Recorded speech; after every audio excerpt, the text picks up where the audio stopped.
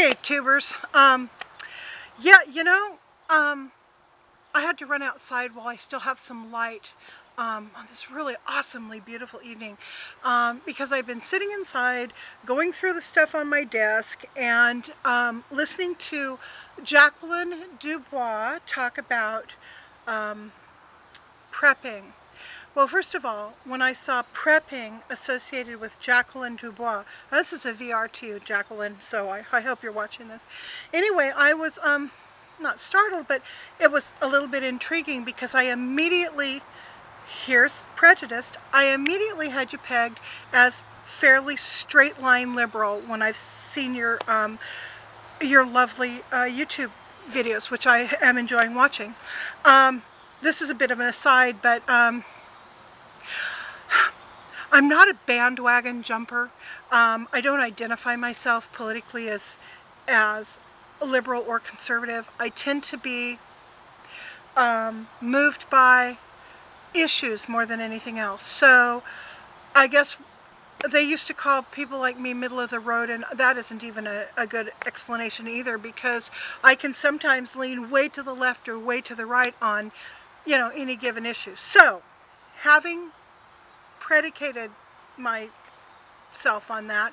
Um, so number one, mea culpa. I never should have pegged you just because um, you're, uh, you know, a real witch of, of Southern California. God, my, duh.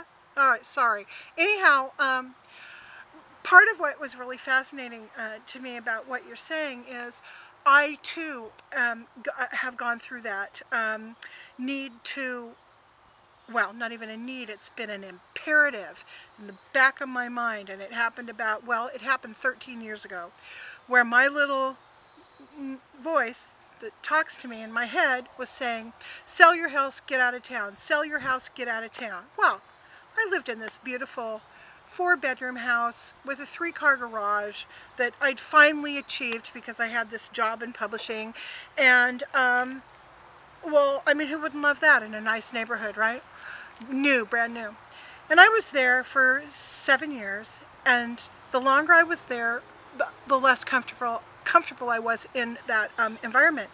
Um, in my neighborhood, didn't know my neighbors. It was, well, there's that's a whole nother video. But point is that my little voice became a very big voice, and it was screaming in my ear, sell and move. So I started to look up in the foothills outside of my town. Um, I really wanted to move more into the mountains, um, higher than where I live. But I commuted every day, so I found a location a good 25 miles out of town. And, um, and I was able to afford it. I could pay cash.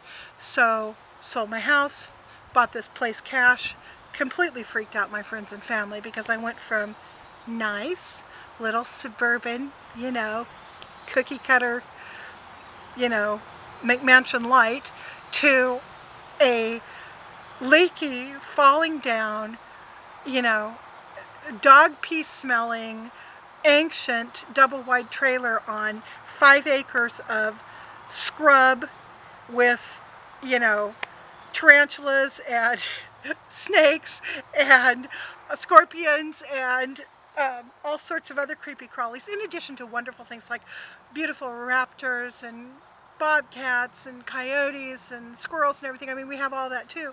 Um, in a kind of a scrub oaky uh, area with a lot of bull pines. So really, really that whole quintessential California foothill, rugged, granite rock kind of um, kind of locale.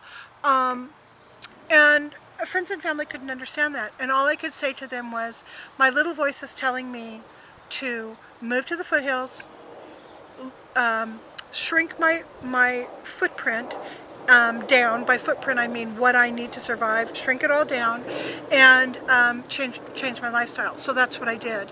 Um, interestingly, uh, within See, I did that 2002, three, four, five. So within three years, the company that I was working for had shut down. And I found myself permanently out of work. I have not had a job. So, well, for a short time, I worked for a slumlord for like six months, but not even that long. But I've pretty much been permanently I'm not going to say unemployed because it's more like early retirement-ish for me, but um, I have I have a very tiny little income, and um, it's all I need because I I took I had a couple little windfalls. I paid off all my cars, all my consumer debt. I had no mortgage.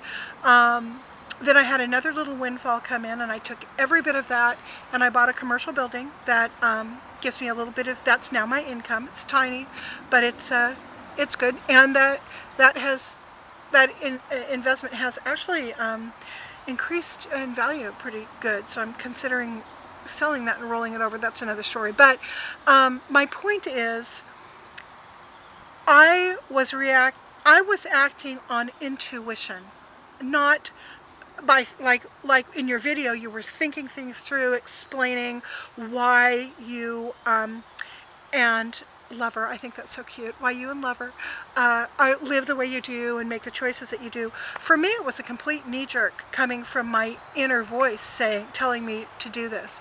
So I did it. Um, and I don't regret it. I wouldn't come back to town for anything. Um, I wish I had moved higher. I wish I'd bought more land. Even if it, even if my trailer had been a single wide instead of a double wide, I I would have traded, you know, that tiny little bit of space for um, I'm not going to say seclusion exactly, but more choices.